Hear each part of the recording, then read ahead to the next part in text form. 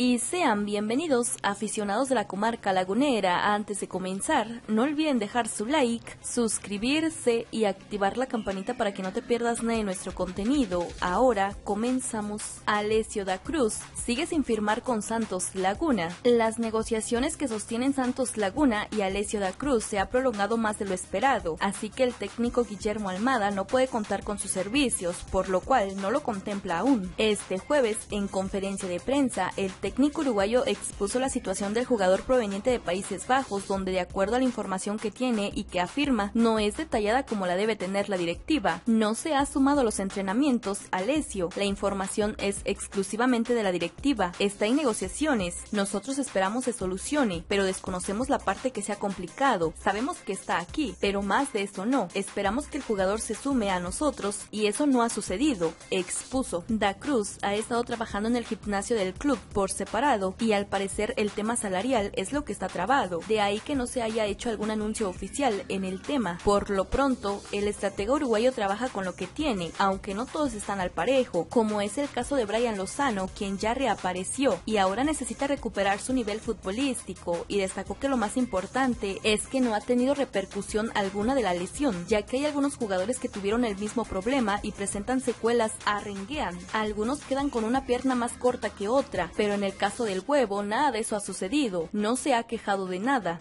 Sin embargo, señala que hay una realidad. Estuvo un año parado, tiene repercusión en su físico y lleva su proceso y su tiempo para recuperar esa intensidad, ritmo y la parte futbolística, que es en lo que se están enfocando. Por lo que respecta a Santiago Muñoz, el estratega afirmó que lo valora como persona, pero lo vio distraído de la pretemporada con su posible transferencia, de ahí que optara por regresarlo a la comarca para que se tranquilizara. Queremos que él solucione.